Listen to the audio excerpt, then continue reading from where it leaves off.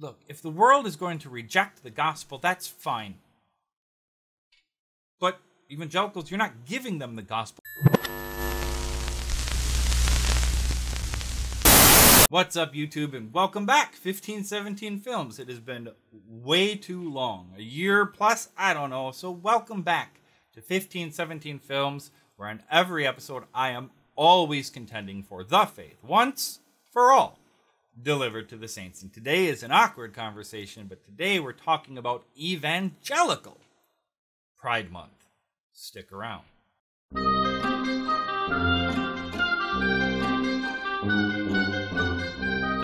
In the year I've been gone, I've already had one platform taken away from me, and I don't want that to happen again. So my crime was wrong think and brilliant sarcasm. That was my crime. So I don't want to lose this platform either. So this let me be clear. This is inside baseball. This is a conversation between and amongst Christians, not Christians and the LGBTQ plus community. This is not about their Pride Month. That's just a catalyst for the conversation that we as Christians need to be having. But you can't escape it. So let's sit down and talk about it. It's June, it's Pride Month. Everywhere you look, every platform, every TV commercial, every I noticed this the other day driving to Fort Wayne and back, every billboard. The rainbow and pride is everywhere. Likewise with evangelicalism in every aspect of their doctrine and practice, pride is everywhere. Absolutely everywhere. And I wish that were not the case. I wish it didn't have to say that, but it's true.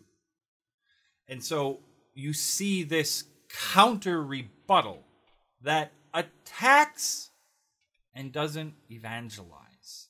It's what you see out of evangelicalism is the Pharisees getting ready to throw the stones at the adulterous woman and not the Lord sitting down well talking to an adulterous woman. Marked difference. Pride Month to the evangelical is very much I am going to spend more time focusing on the rainbow glitter sparkle in somebody else's eye than the rotting plank in my own. If this past year of being gone from YouTube has taught me anything, it's that I have both eyes filled with monumental planks that I have to address. It's part of the reason I've been gone. Just embarrassment and unworthiness to talk about theology publicly when it has become painstakingly obvious that I am an egregious sinner. Getting divorced? Having a hoe phase? These are not things that Christians do, except that they are.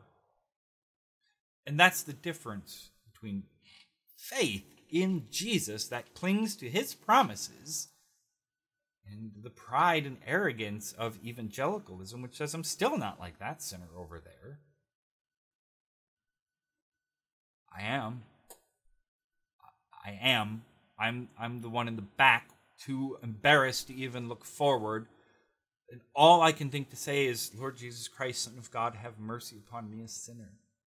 But faith, because it clings to the promise, assures me that there's nothing more in heaven and on earth that Jesus delights in than having mercy on sinners. So, if we as Christians can engage our world the way Jesus gently engaged the woman at the well, this is these are the these are the analogies that are perfect. The woman caught in adultery being stoned by the Pharisees, and the woman that is an adulterous woman at the well. Why?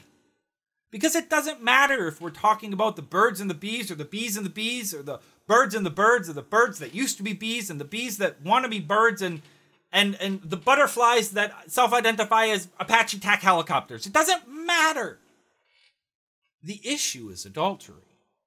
In, in whatever form it takes. That's the issue. And we are all capable of it. And we all engage in it. If not physically, then mentally, Jesus says. Jesus amped that law to 11 when he says, even if we think about it.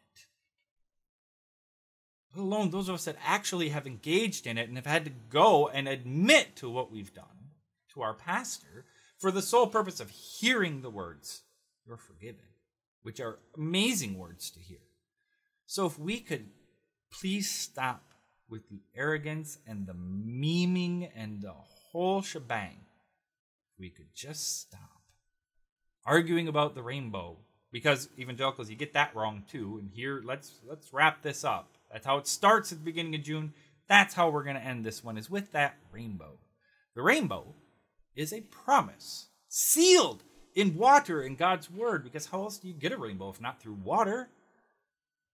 Fast forward to 1 peter 321 the water of noah's flood is to borrow from the greek an archetype of our baptism a pledge, a promise, a seal in water and the word. Remember Ephesians 5, having been sanctified by the washing of water with the word.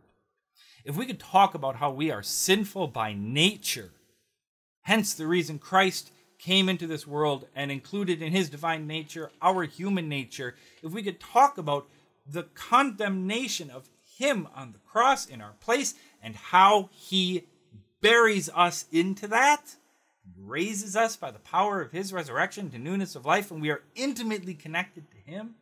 And as a further pledge, he feeds us his body and his blood to prove that he is good. Look, if the world is going to reject the gospel, that's fine. But evangelicals, you're not giving them the gospel, you're just hitting them with the law and saying, believe the gospel. You can't believe the gospel when all you're giving them is law